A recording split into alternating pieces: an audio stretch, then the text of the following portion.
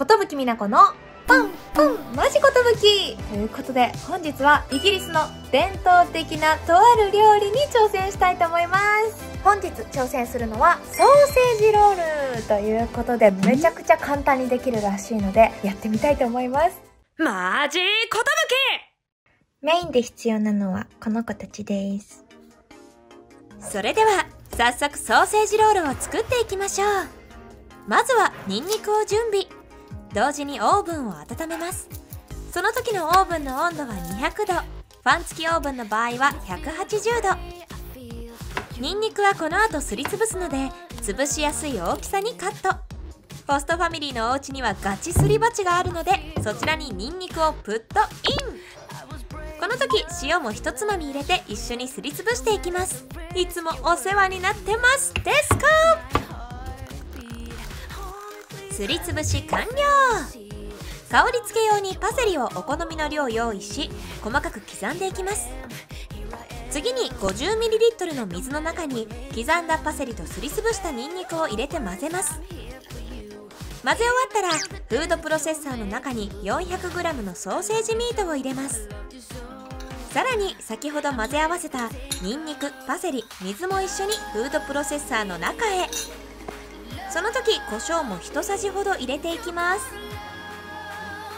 マックスのスピードでフードプロセッサーをスタート。次にパイシートを取り出します。パイシートは丸まっているので破れないよう丁寧に広げていきます。パイシートを広げたら横長になるよう半分にカット2分割しました。フードプロセッサーで混ぜたソーセージミートを乗せて包んでいきますので包みやすいように真ん中の位置にソーセージミートを少し伸ばしつつ置いてから包んでいきます。残りも同じように包んであげますよ。ちなみに端っこは好きなように包んでみました。うんよきよき。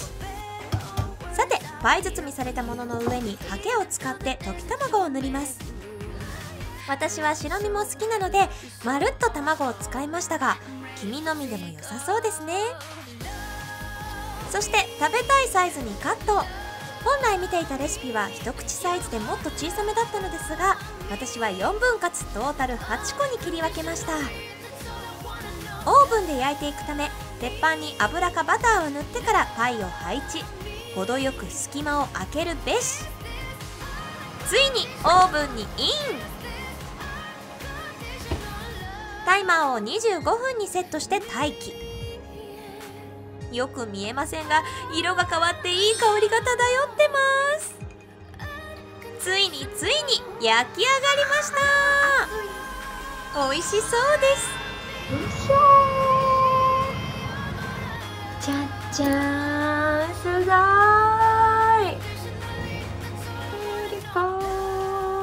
マジことぶきちょっと食べてみよういやいい香り。なんかパセリとかちょっといい香りしてます。いただきます。あーつ全然口に入る気がしないけど。うわー。すごいよ玉ねぎとか入れても美味しそうこれ。わあおいしい。ウインナーや。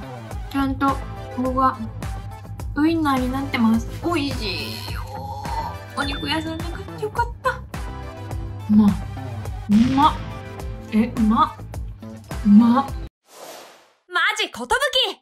はいということで今回はソーセージロール作ってみました。めっちゃ美味しい。本当にびっくりした。こんなに簡単に初めてだったから時間はかかりましたがこれからは手際よく作れそうだなって思いましたし準備するものが少なくて結構いいなって思いました。ぜひとも日本でもイギリスの味試してみてください。では残りの子が焼けそうなのでまたね。ことぶきみなこのパンパンマジことぶき。次の動画でお会いしましょう。バイバーイ。